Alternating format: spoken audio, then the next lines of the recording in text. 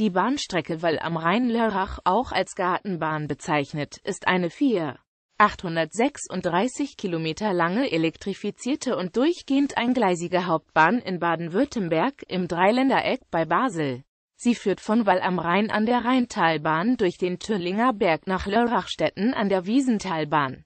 Die Fortsetzung der Umgehungsbahn bildete die inzwischen stillgelegte Werratalbahn, die bei Schopfheim von der Wiesentalbahn abzweigend nach Bad Säckingen an der Hochrheinbahn führte. Geschichte Die Bahnstrecke Wall am Rhein-Lörrach wurde am 20. Mai 1890 von der Badischen Staatsbahn als strategische Bahn zur Umgehung der Schweiz eröffnet. Bereits am 11. Februar 1878 ging eine Bahnlinie zwischen Wall und St. Ludwig in Betrieb, womit das im Deutsch-Französischen Krieg eroberte Elsass auch ganz im Süden verkehrsmäßig mit dem Reich verbunden wurde. Die Verbindung querte den Rhein über die bis 1937 von der Bahn genutzte Palm-Einbrücke.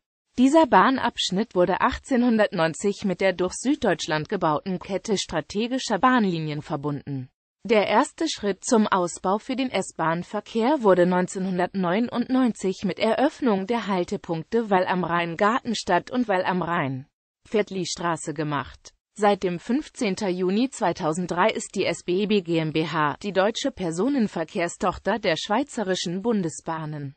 Zuständiges Eisenbahnverkehrsunternehmen. Der Schienenpersonennahverkehr auf der Gartenbahn ist seither als S5 ins Netz der Regio S-Bahn Basel eingebunden.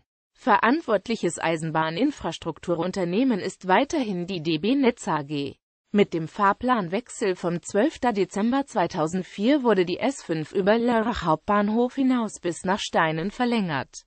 Am 12. Juni 2005 wurde der neue Haltepunkt Lörrach-Darmstraße in Betrieb genommen.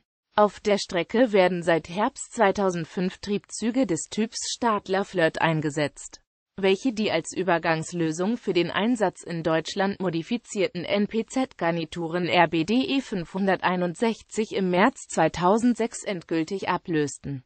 Punkt